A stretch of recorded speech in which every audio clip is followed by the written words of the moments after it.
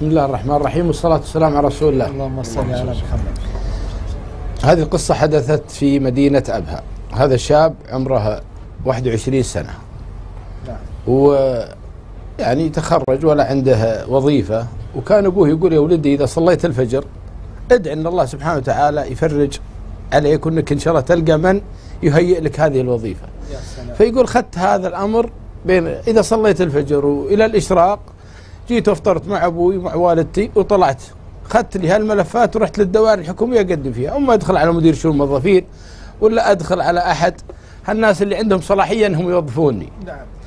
يقول سبحان الله وأمر على هاك الإدارة وزاره حكومية يقول أدخل فيها. يوم دخلت يقول يهيئ لي الله هاك الرجال سبحان الله. شافني ولعل توسم فيني الخير.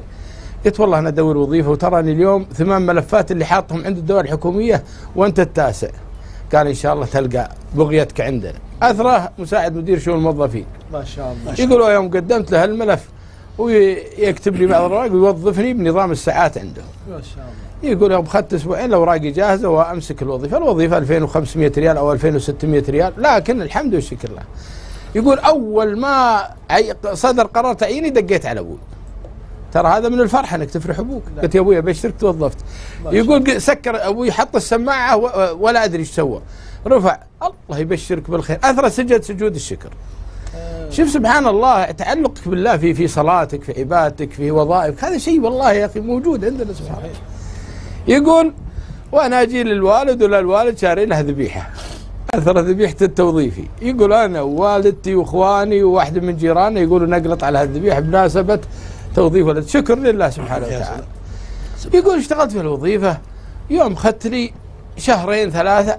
مدير هالمدير هذا اللي وظفني شافني وتوسم فيني الخير. ما شاء الله. من ضمن الأشياء يقول والله هو اللي يقول لي وأنا يوم أقول لكم هالكلام هذا ما هو تزكية للشخص ولا الشخص يزكي نفسه. لكن نبي نعلم الشباب بعض الأمور البسيطة اللي يسويها ربما أنها تفتح.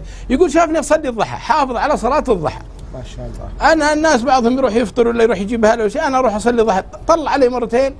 قال أنت ليش ما تتزوج؟ قلت يا عمي أنا 2500 ريال ووظيفة مؤقتة ولا الظروف الله يعلم فيها. قال لا لا ما أبي منك بس الا تجهز الشقة. المهر جاهز وكل شيء جاهز وأنت شوف جهز عمرك. إن كانك راغب في الزواج جهز عمرك وتعالي ما شاء الله.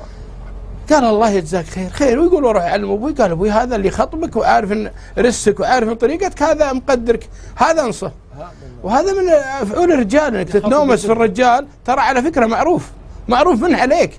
إنه يتنومس فيك إنك تأخذ بنته ولا أخته ترى معروف. حتى لو ما اخذتها يقول وأنا اكلم أبوي قال لي توكل على الله. يقول نروح ونسلم على الرجال وأنا وابوي ونتكلم معه. قال ادخل. اثرها اخته ما هي بنته. يقول لا والله ما شاء الله تبارك الله البنت طيبة وشكلها طيب يقول وأنا أوافق. قال شوف يا ولدي لا تكثر على نفسك. المهر اللي تقدر عليه جبه أهم شيء أمن السكن لك ولها. يا سلام. يقول وأنا أدبر لي طال عمرك 7000 مدري 10000 يقول أدفعها. يقول وادخل على المرأة. وأروح أد... إيه آسف ملكت. يقول وأروح أخذ لي شقة. شوف شوف التوافيق شلون صارت.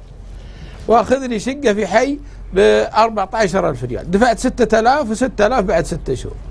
يقول وانزل طال عمرك حراج إيه يوم شافني راعي ال... ال... يوم شافني راعي الشقة قال أنت ما شاء الله تبارك الله وين تشتغل؟ قلت أشتغل في هاك القطاع. وشافني وشاف علي وسامة الخير وانكسار. قال له أنا عندي مسجد بانيه وش رأيك تصير فيه إمام كانك حافظ؟ قلت أنا حافظ 10 أجزاء فوق العشر أجزاء. قال إيش رأيك تصير فيه إمام وتأخذ السكن وبعطيك 2005 ما شاء الله. قلت صدق قال صدق. قلت والله موافق. يقول يعطيني السكن ويعطيني 2500 ريال وأصير إمام في هذا المسجد. يقول وادخل الحراج حراج خميس مشيط. إحنا الحراج حق الأثاث في خميس مشيط. يقول يوم جيت خميس مشيط والقى لي هاك الدينه فيها كنب ما عندك أحسن منها. أنا بلقط من الحراج. يقول أثر راعي الكنب هذا ولد ولد تاج اللي اللي منزله.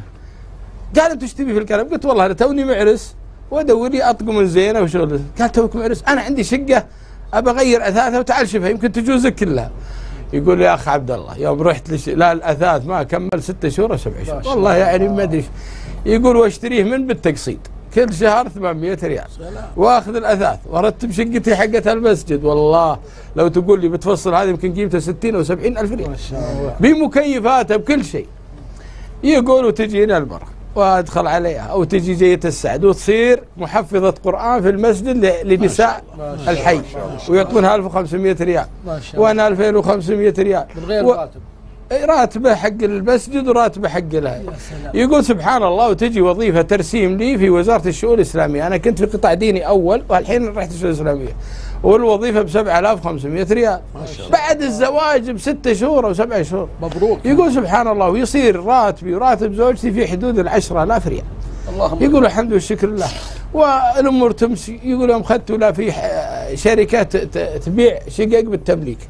واشتري لك هاك الشقه ب 180 ألف ريال تقسيط ب 3000 شهري يقول والله وأجرها وتدخل عليه يقول له الحمد والشكر لله يا اخ عبد الله والله العظيم لو تقول لي إنك بعد شهر تتزوج وتسكن في شقة ويصير راتبك هالكثر والله فلا أصدق لكن والله حسن ظن في الله وعبادة الله وطاعة الوالدين كانت سبب كبير جدا في اني أقول فمن هذا المنبر يا أخوان الشباب اللي يقول أنا ما أقدر أتزوج أنا لازم أجهز المرج المهر أنا لازم مدري إيش لا تصعب الأمور.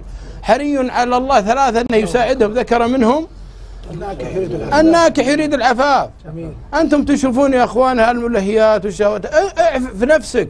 والله الذي لا إله إلا ييسرها ربك. وان ي- أنت تيسر.